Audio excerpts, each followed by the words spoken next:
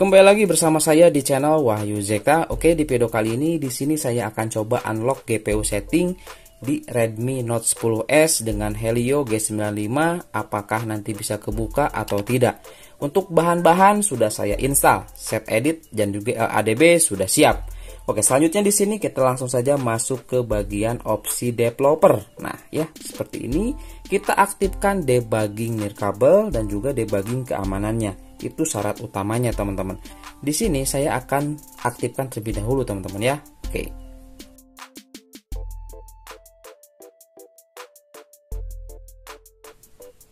Nah, insert your SIM card. Jadi uh, untuk di debugging USB setelan keamanan ini karena di unit saya ini di Redmi Note 10s ini tidak ada SIM card. Nah, ini jadi tidak bisa kebuka, teman-teman. Jadi di sini saya akan coba pasang dulu SIM cardnya, teman-teman ya. ya. Oke, teman-teman, di sini saya sudah masukkan SIM. Kita langsung saja coba tes lagi di debugging USB keamanan ini. Kita coba lihat apakah bisa atau tidak ya. Nah, sebagian besar kasus seperti ini, teman-teman. Ada yang meminta untuk dimasukkan SIM card atau yang sudah ada SIM cardnya sih aman seperti itu ya. Karena dipakai karena di sini saya hanya menggunakan WiFi saja untuk smartphone Redmi Note 10s ini, teman-teman. Ya, oke. Okay.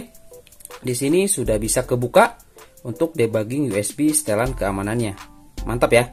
Nah, selanjutnya di sini kita tinggal koneksikan saja dengan LADB-nya teman-teman. Seperti itu ya. Oke, kalau sudah seperti ini ya, kita tinggal klik saja di bagian debugging nirkabelnya seperti ini. Kita buat seperti ini dulu. Kemudian di bagian LADB ini ya, LADB kita buat menjadi split screen seperti itu kemudian kita buka di bagian debugging nirkabel ini. Nah selanjutnya teman-teman di sini langsung pasangkan perangkat dengan kode pemasangan. Nah ini dia. Kode pemasangannya kita masukkan seperti biasa ke dalam LADB ya. Nah untuk di bagian port di sini kita masukkan eh, 43 barusan ya 43 kemudian 853 ya Nah, 853. Oke, selanjutnya di sini untuk di bagian kode pemasangannya 452. Oke, 452. Oh, ini hapus dulu ya. 452. Nah, selanjutnya di sini 381. 381. Nah, ini sudah ya. Kita langsung saja oke. Nah, ini langsung terkoneksi, teman-teman. Ini di Redmi Note 10s cepet banget ini. Tuh, ini sudah Hello World. Nah, ini tandanya sudah connect teman-teman ya. Nah, ini ya. Nah, Hello World ini sudah connect. Jadi, tandanya di sini sudah connect. Kita juga bisa lihat di sini proses debug nirkabel terhubung. Oke.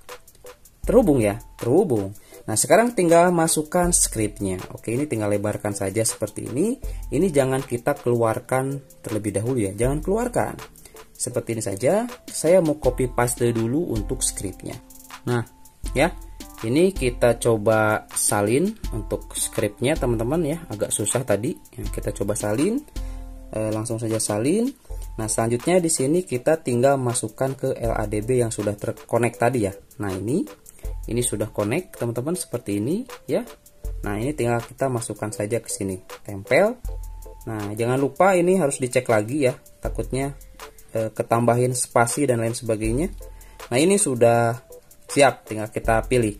Nah sebelumnya di sini saya perlihatkan terlebih dahulu di bagian set editnya ya Oke, okay, di sini. Nah, di sini kalau misalkan belum terbuka, terunlock untuk di bagian global table, ini tidak akan bisa menambahkan uh, setting. Seperti contoh di sini kita lihat, nah ini.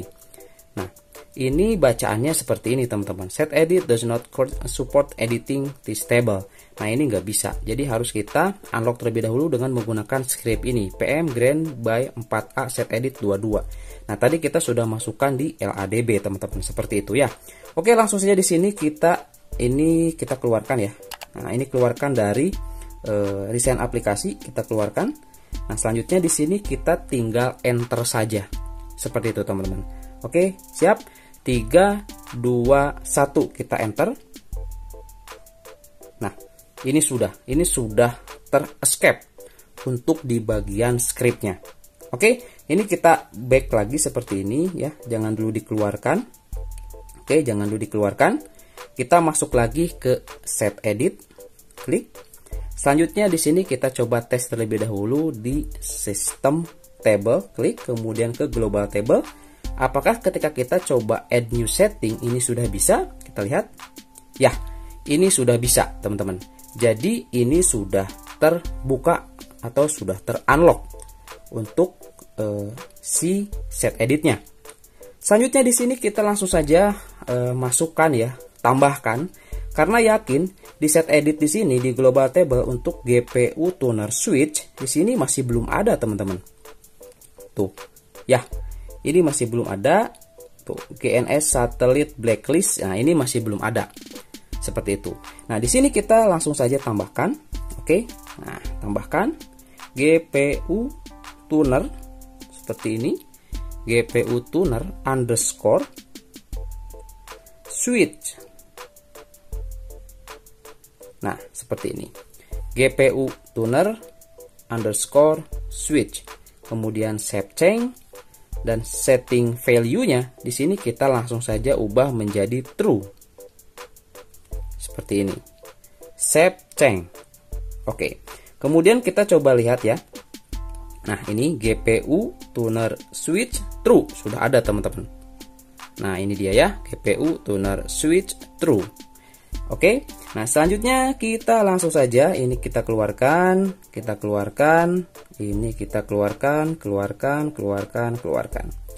Selanjutnya di sini kita langsung saja buka game turbonya.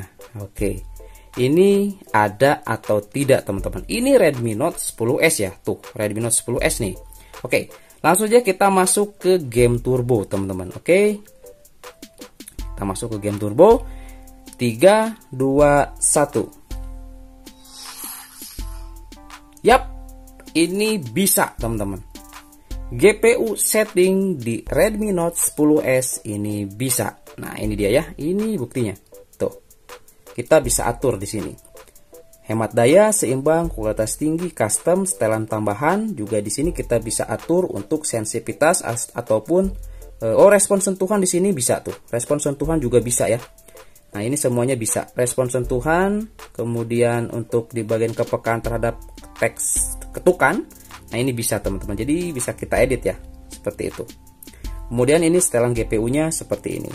Dan bedanya memang kalau di e, seri apa namanya e, MediaTek atau GPU-nya Mali, nah di sini nggak tertulis GPU Mali ya, tapi kalau Snapdragon tertulis di sini GPU Adreno, ada lambang Snapdragon seperti itu teman-teman. Kalau di eh, Snapdragon ya, kalau di MediaTek ini nggak terdeteksi di sininya.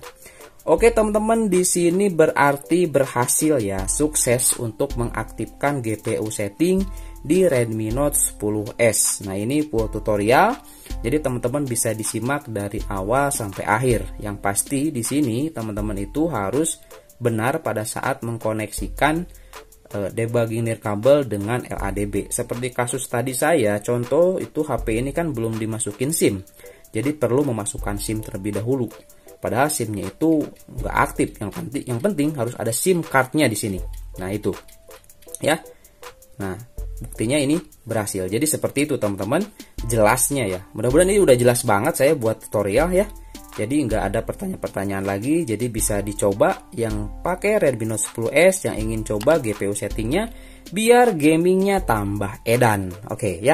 Oke itu saja mungkin teman-teman ya di video kali ini terkait ya tutorial bagaimana cara unlock GPU setting di Redmi Note 10s ini.